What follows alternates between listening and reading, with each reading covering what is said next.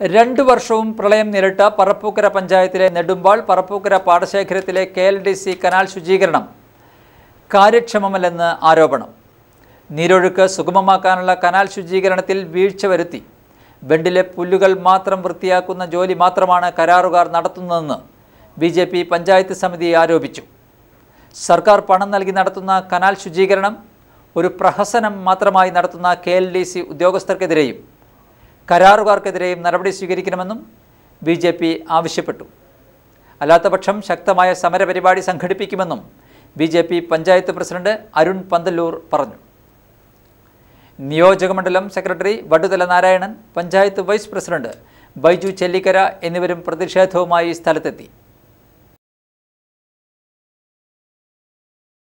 ഇവിടെ നമുക്ക് കാണാൻ സാധിക്കും ഈ ഒരു ഒരു പ്രളയം കൂടി നമുക്കിനി താങ്ങാനാവാത്ത അവസ്ഥയിൽ ഈ സമയത്ത് ഈ പുഴ ഈ കനാലുകളെല്ലാം വൃത്തിയാക്കാനായിട്ട് കെ എൽ ഡി സി വലിയൊരു ഫണ്ട് നീക്കി വെച്ചിട്ടുണ്ട്. സൈഡുകളിൽ നിന്ന് ചെറിയ രീതിയിലുള്ള തൂപ്പുകൾ മാത്രം വാരി മുകളിലേക്ക് ഇട്ടിരിക്കുന്ന ഒരു അവസ്ഥയാണ് കാണാനുള്ളത്. ഇതിന് ഇതിൽ വൻ അഴിമതി ഉണ്ടാവാൻ സാധ്യതയുണ്ട്. ഇതിനെതിരെ B J P Parappukkara panchayat സമിതി ശക്തമായ രീതിയിൽ തന്നെ പ്രതിഷേധിക്കുകയും പരാതി കൊടുക്കുകയും ചെയ്യുന്നുണ്ട്. ഇതിൽ എന്തെങ്കിലും രീതിയിലുള്ള